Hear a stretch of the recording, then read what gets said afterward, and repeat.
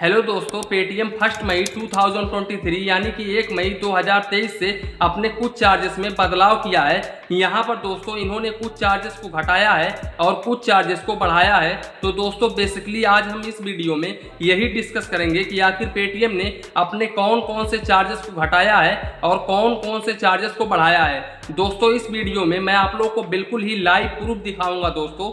Video को बिल्कुल भी स्किप मत करिएगा। तो चलिए इसी के साथ में वीडियो शुरू करते हैं। दोस्तों, यहाँ पर आप स्क्रीन पर देख पा रहे होंगे, यहाँ पर लिखा हुआ है cheque return due to financial reason यहाँ पर इनका जो पहला जो चार्जेस है, वो अगर आपका चेक फाइनेंशियल रीजन की वजह से रिटर्न होता है तो उस केस में पहले आप लोगों से पाँच सौ लिया जाता था, लेकिन अब आप लोगों से एक भी रुपया नहीं लिया जाएगा। इसके अलावा दोस्तों N A C H return due to financial reason अगर N A C H return होता है फाइनेंशियल रीजन की वजह से तो उस केस में पहले आप लोगों से एक भी रुपया नहीं लिया जाता था, लेकिन अब आप लोगों से सौ रुपये चार्ज किया जाएगा।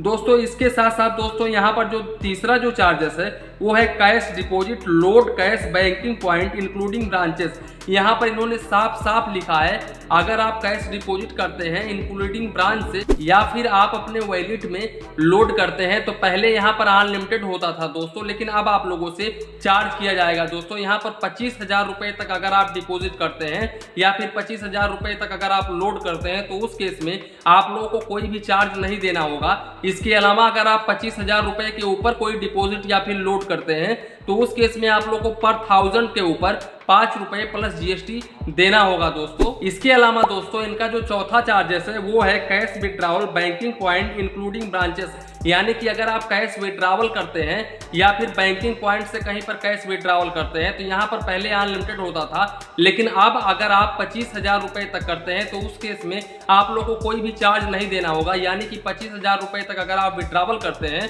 तो उस केस में आप लोग को एक भी रुपए चार्ज नहीं देना होगा। लेकिन इसके अलावा अगर आप पच्चीस हज़ार रुपए के ऊपर कोई विड्रावल करते हैं तो उस केस में आप लोगों को पर थाउज़ेंड के ऊपर पाँच रुपए पर टीएक्सएन चार्ज देना होगा प्लस जीएसटी दोस्तों टीएक्सएन यानी कि फ़र्स्ट बिलिंग साइकिल में फ़र्स्ट टाइम में, अगर आप कोई भी अमाउंट निकालते हैं, जैसे कि एक बैग आप लोग, आपने पचास हज़ार रुपए निकाला तो उस केस में आप लोग को चार्ज देना होगा पर थाउज़ेंड के ऊपर, यानी कि पच्चीस हज़ार रुपए के ऊपर जो भी अमाउंट रहेगा, उस पर पर थाउज़ेंड के ऊपर आप लोग को पाँच रुपए चार्ज देना होगा। अब दोस्तों, इनका जो पांचवा चार्जेस है, वो है एटीएम कार्ड ट्रांजेक्शन या फिर माइक्रो ट्रांजेक्शन यानी कि अगर आप एटीएम कार्ड से कोई माइक्रो से ट्रांजेक्शन करते हैं या फिर माइक्रो एटीएम, एक पेटीएम का आता है, उससे अगर आप कोई ट्रांजेक्शन करते हैं तो उस केस में आप लोग को मेट्रो सिटी में तीन ट्रांजेक्शन पर मंथ फ्री दिया जाएगा। इसके अलावा पाँच ट्रांजेक्शन आप लोग को नॉन मेट्रो सिटी में पर मंथ फ्री दिया जाएगा। दोस्तों, यहाँ पर आप लोगों ने काफ़ी सारे बैंकों में देखा होगा कि जहाँ पर एटीएम कार्ड पर आप लोगों से इशुएंस चार्जेस